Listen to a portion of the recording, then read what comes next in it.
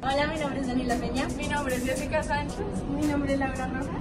Mi nombre es Sofía Niño y el día de hoy vamos a hablar sobre una biomolécula que se encuentra dentro del grupo de los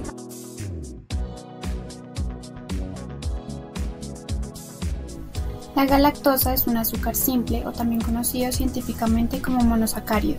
Monosacárido es la unidad más básica de los carbohidratos. La galactosa está compuesta también químicamente de la misma forma que la glucosa y hace parte de la familia de las aldoxosas ya que posee un grupo aldehído.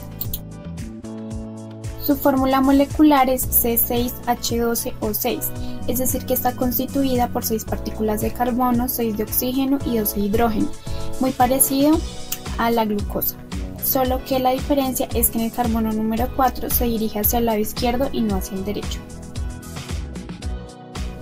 La estructura abierta de las hexosas no es, no es, lineal debido a los ángulos que hay entre los enlaces de los carbonos. Los primeros átomos y los últimos quedan relativamente próximos. Por eso en disolución la estructura lineal generalmente se cierra sobre sí misma formando un hexágono.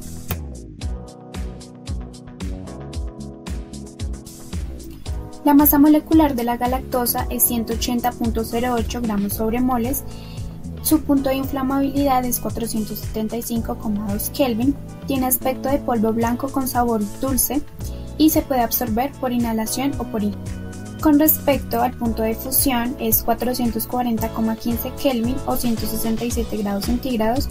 Su punto de ebullición es 683,95 Kelvin o 410,8 grados centígrados.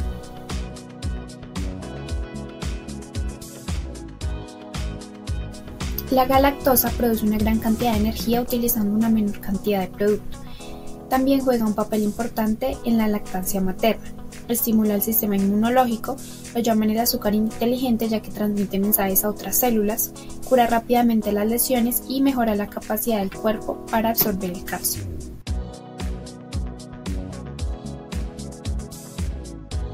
Los niveles altos de galactosa pueden afectar a alguien que tenga diabetes tipo 1 o 2, puede llegar a la hipoglicemia, enfermedad cardiovascular, enfermedad renal crónica y el consumo de productos lácteos puede llevar a dificultad para descomponer los azúcares.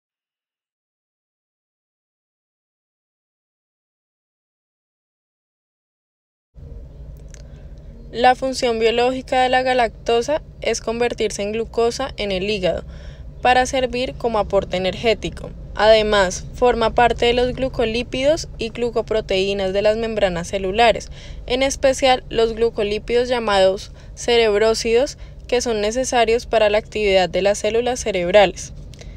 Además, la galactosa es sintetizada por las glándulas mamarias para producir lactosa, que es un disacárido formado por la unión de glucosa y galactosa. Por tanto, el mayor aporte de galactosa en la nutrición proviene de la ingesta de la lactosa de la leche. La fuente de obtención principal de la galactosa es la lactosa, de la leche y el yogur, que se dirige a la galactosa y glucosa. Algunos alimentos naturales simples, como las frutas, verduras, nueces, granos, carnes frescas, huevos y leche, generalmente contienen menos del 3% de la galactosa. Síntesis de la galactosa. Es un azúcar encontrado en la leche. Es un disacárido formado por los monosacáridos glucosa y galactosa unidos entre sí por un enlace beta-1,4-glucosídico.